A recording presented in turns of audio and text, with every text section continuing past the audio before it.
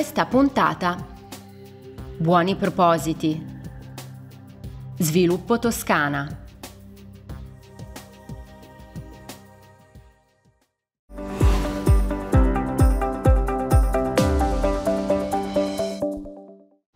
I buoni propositi dei consiglieri della Regione Toscana per l'anno 2023.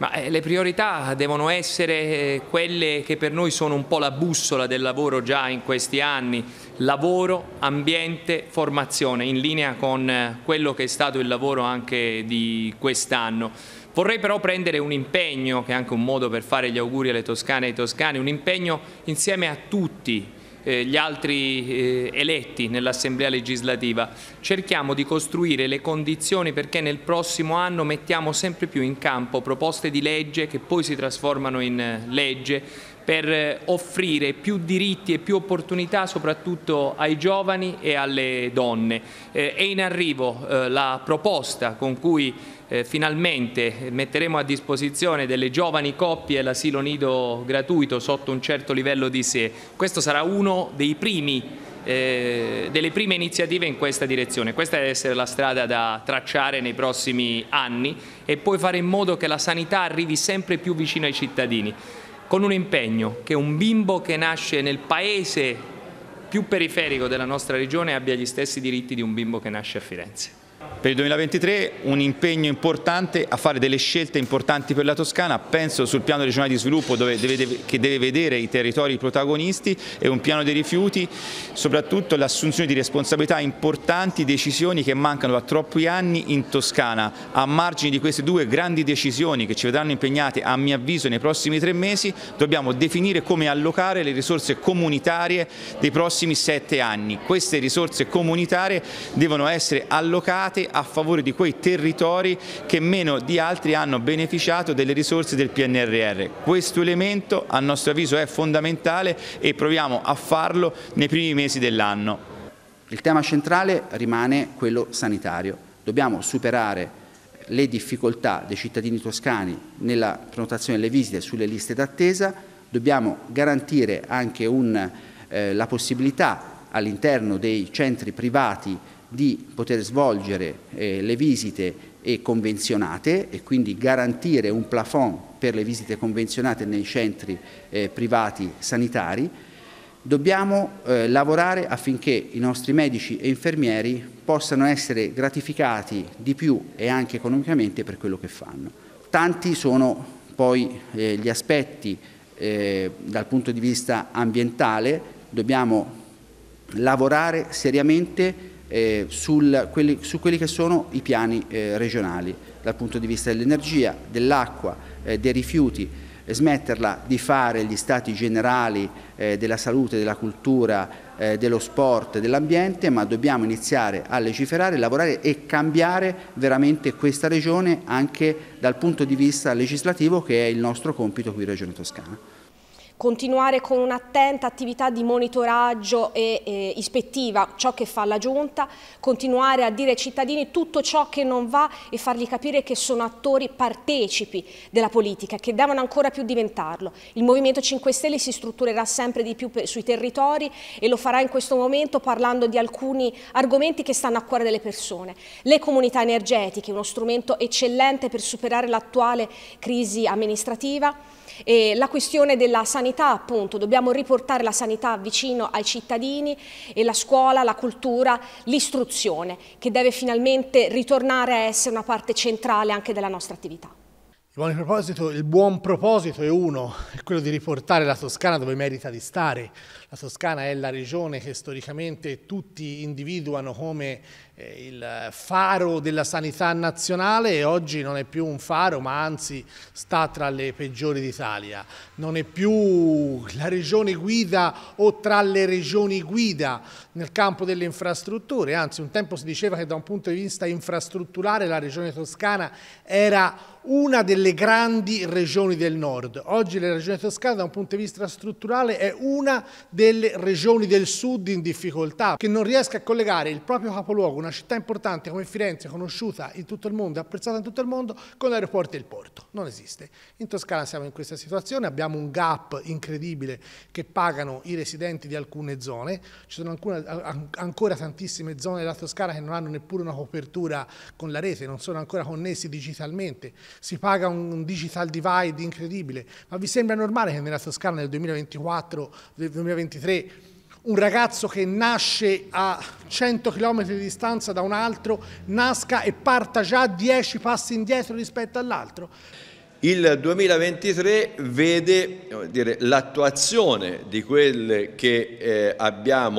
eh, di, di delle indicazioni che abbiamo approvato nel, de, nel, a, a, seguito di eh, questi percorsi, ma soprattutto l'impegno principale sarà quello per l'approvazione del piano regionale di sviluppo, vale a dire il piano che farà da cornice a tutte le politiche, a tutte le scelte, a tutte le strategie che il governo regionale dovrà portare avanti. Quindi, eh, il piano regionale di sviluppo sta arrivando in Consiglio, noi abbiamo anche anticipato come gruppo alcuni incontri sui territori per iniziare a raccogliere anche da questo di, punto di vista delle indicazioni. Eh, ci sono importanti investimenti che dovranno proseguire o che potranno iniziare la Darsena Europa appunto, il raddoppio della ferrovia eh, Pistoia-Lucca, eh, eh, la viabilità eh, regionale. Eh, ho visto che stanno arrivando i, i, treni che fanno parte del contratto che da assessore avevamo, avevo anche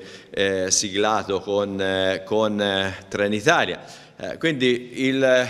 futuro della Toscana anche nel 2023 vedrà il nostro impegno per quanto riguarda le politiche sociali, le politiche del lavoro, per quanto riguarda eh, la salute dei toscani e per quanto riguarda un sostegno all'economia, eh, quindi anche attraverso eh, tutta una serie di interventi e di bandi che verranno, eh, che verranno eh, pubblicati per quanto riguarda il sostegno alle nostre imprese.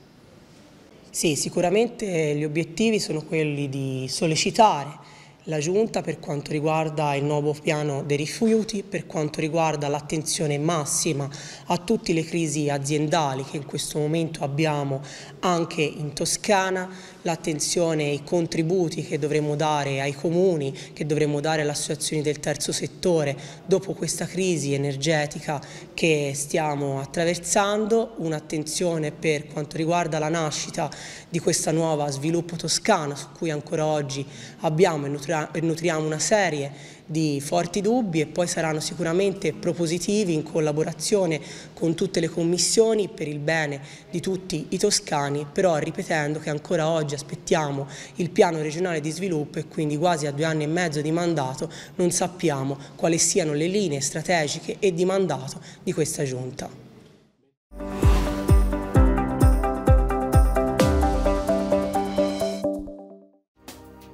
Attività da svolgere, un perimetro di operatività più ampio esteso anche al servizio sanitario e una governance con un consiglio di amministrazione nominato dal Presidente della Regione. È questo il nuovo assetto di sviluppo toscana.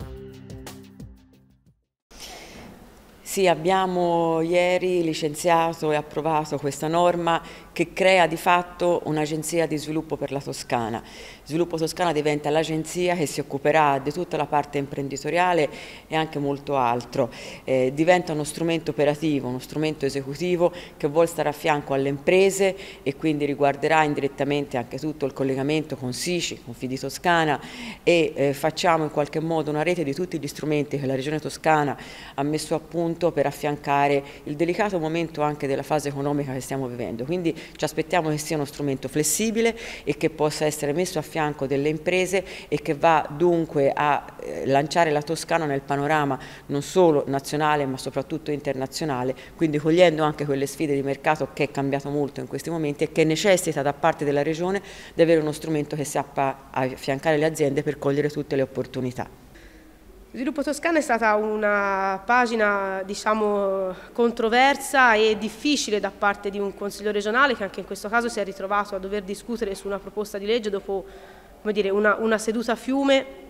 che eh, naturalmente però arriva in un contesto ancora fortemente incerto anche perché è legata al futuro della finanziaria regionale. È un'operazione assolutamente ambiziosa, un'operazione che vede dal nostro punto di vista molte criticità ancora irrisolte, anche e soprattutto il ruolo e comunque il, il contemperamento diciamo, tra la sopravvivenza di Fili Toscana e ciò che invece si vuole creare con questa agenzia di sviluppo. Eh, vedremo se eh, col tempo eh, si riuscirà a chiarire ciò che eh, intende la Giunta per braccio operativo eh, della, del sistema economico regionale, ciò che è certo è che oggi in questa fase storica ci ritroviamo senza quello che dovrebbe essere stato invece uno strumento che doveva già essere pronto per sostenere soprattutto le amministrazioni locali in questa fase così delicata. La vicenda di sviluppo toscana si inserisce all'interno di un quadro più ampio che è quello di dotare anche la Toscana, anche la regione toscana di una società che possa in qualche modo sostenere e accompagnare il tessuto produttivo e imprenditoriale regionale. Noi siamo partiti all'inizio di questa legislatura con la proposta di Gianni di portare in house Fili Toscana. La regione toscana è proprietaria del 50% di Fili Toscana, quindi la proposta del PD era compriamo dalle banche anche anche il restante 50% per poter avere una società che può fare credito e che sostenga il nostro tessuto imprenditoriale. Siamo arrivati al punto esattamente opposto, una sorta di eh, salto mortale dal trampolino carpiato, dove anziché comprare il 50% che non avevamo, la Regione Toscana ha messo in vendita il 50% che ha per poter provare a fare con Sviluppo Toscana ciò che avrebbe voluto fare con Fidi Toscana. In realtà è un pastrocchio assoluto, aggravato dal fatto che Sviluppo Toscana anziché avere un amministratore unico come aveva fino ad ora, avrà con la nuova legge approvata un consiglio di amministrazione nominato per intero dalla Giunta che costerà più soldi. Di fatto la Regione Toscana rimarrà senza un soggetto che possa fare credito, che possa sostenere le imprese e le attività produttive toscane, anche e soprattutto in virtù del fatto che in Toscana non ci sono più le banche e che quindi le banche, chi dà soldi alle imprese a testa e gambe in altre regioni o addirittura in altri stati e questa soluzione non è una soluzione definitiva, quindi noi riteniamo che si sia fatto una montagna che abbia partorito un topolino, si poteva fare molto di più anche seguendo quello che fanno le altre regioni.